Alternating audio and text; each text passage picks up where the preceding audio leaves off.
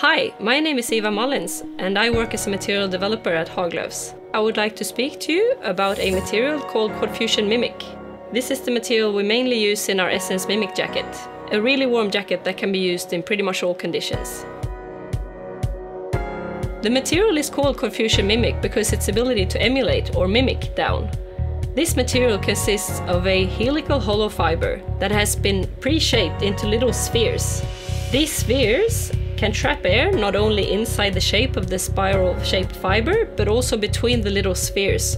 This ability to trap a lot of warm air will keep the, the wearer warm and perform even in really wet conditions.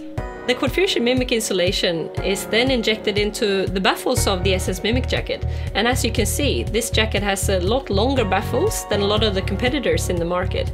This is because our Essence Mimic material has a shape retention after both compressing and after handling and wearing it and wetting it out.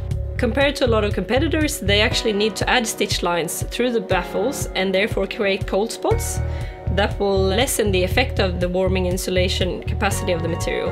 The synthetic material doesn't absorb moisture with any ease, and if it does ever get wetted out, you just wring it out and it will come back to shape instantly. A down would in this case collapse or lump together. To illustrate this, I will take some QuadFusion Mimic and sink it into this water here.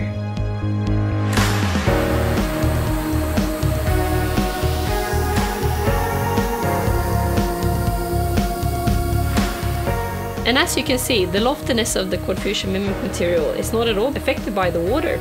It instantly regains its shape and the ability to isolate, trap air and keep you warm, even in really wet conditions.